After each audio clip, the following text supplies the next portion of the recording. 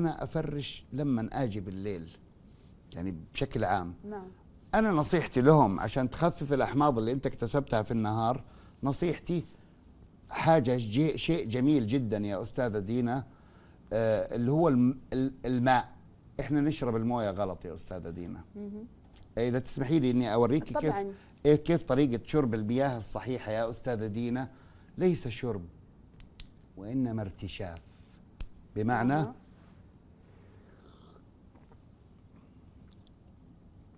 أها. أنا كده بللت جميع الأسطح اللي موجودة بالفم إذا كان فيها جفاف أنا كده المكان اللي كان فيه أحماض خففتها كل ما ارتشفت أنا كده ما استهلكت الماء اللي معاي نعم. وما ال- الكلى عندي بماء كثير تقعد تشتغل فيه وتقعد يعني ممكن تعمل disturbance للشخص أنا استهلكت يعني أنت أحيانا تجد الرياضيين معاه قارورة موية صغيرة وصار له ماشي فيها ساعتين صحيح. الفكرة هي في ارتشاف الماء.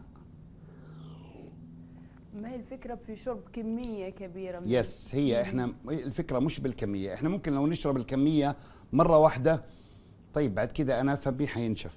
أنا أثناء الكلام وأثناء الحوار وأنت كمذيعة مهم. أثناء الحوار وأثناء الكلام لو شربتي كمية كبيرة ما هترتوي. هي هي الارتواء إنه فمك يتبلل الغدد اللعابية تنغسل الفم ينغسل من جوا.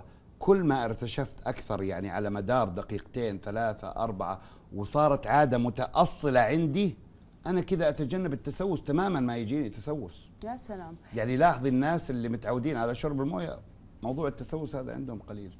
وحتى